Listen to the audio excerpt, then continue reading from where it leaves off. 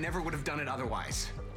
The blood of 133 people is on your hands, Elias. You think I don't know that? After the bomb went off, I knew it was just a matter of time before I was found out. I felt horrible. Alex calling you to represent her must have been a dream come true, huh? All that access we gave you, you were in the center of it all. I thought the worst was over until yesterday when the terrorist called me again and said I had one last task. And then I'd be free forever. I was to bring that trigger to this hotel and wait for instructions. I panicked.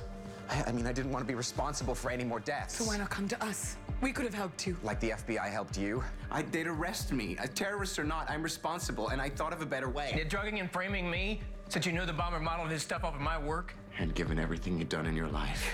Instead of taking responsibility for yourself, you decided my life for yours was a pretty fair trade. The FBI had enough circumstantial evidence. I just had to point them in your direction. So I pretended to sleep in my office, slip my tail. You're despicable. I wanted you to find Simon. I brought you here because I want you to try and stop this bomb. I had three choices come clean, carry out the second attack myself, or frame Simon and hope to stop it. Look, the only thing we want to hear from you is where the bomb is. I don't know. The only thing that makes sense is that it's in this building somewhere. They wanted me here and they wanted me dead. Please just don't let go of that trigger, Simon. Call him.